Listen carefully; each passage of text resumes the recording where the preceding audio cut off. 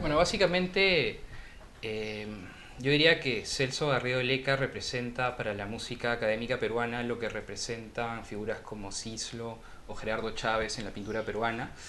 Y sin embargo está este, esta paradoja de que su obra se desconoce o se conoce de nombre o un par de obras suyas, ¿no?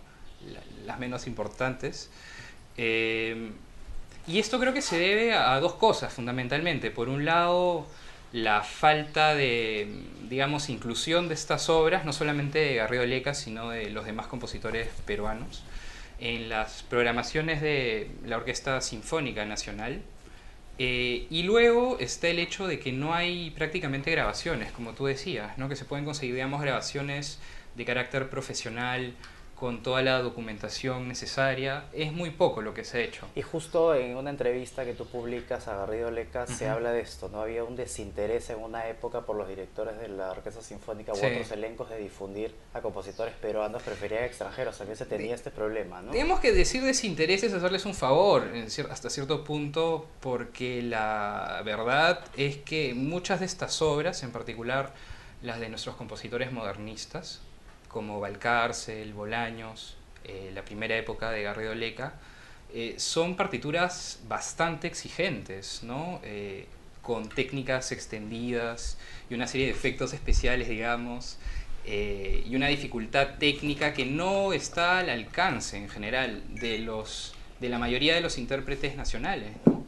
Entonces son realmente contados con los dedos de una mano los intérpretes nacionales a los que les interesa y que son capaces de tocar estas obras. ¿no? estamos hablando de obras que también son reconocidas a nivel internacional. Ah, sin duda. Hay compositores que han triunfado, digamos un poco la, la, historia de siempre, ¿no? El peruano que triunfa fuera en su país y digamos, con buena... O sea, hablamos de una generación, en este caso la generación del 50, que es una generación de compositores importantes que han hecho una obra trascendente más allá de... Sí, son los más prominentes en realidad en la historia de la música peruana, por lo menos del siglo XX. ¿Estamos hablando de quiénes? Eh, de la generación de Iturriaga, eh, Edgar Valcárcel, César Bolaños, Francisco Pulgar Vidal, eh, Leopoldo La Rosa, en fin, son varias figuras que además necesitamos en este momento, para nuestra generación sería muy importante realmente enfrentar la obra magna que, que nos ha dejado esa generación y que está empezando a partir entre el año 2010 y el 2012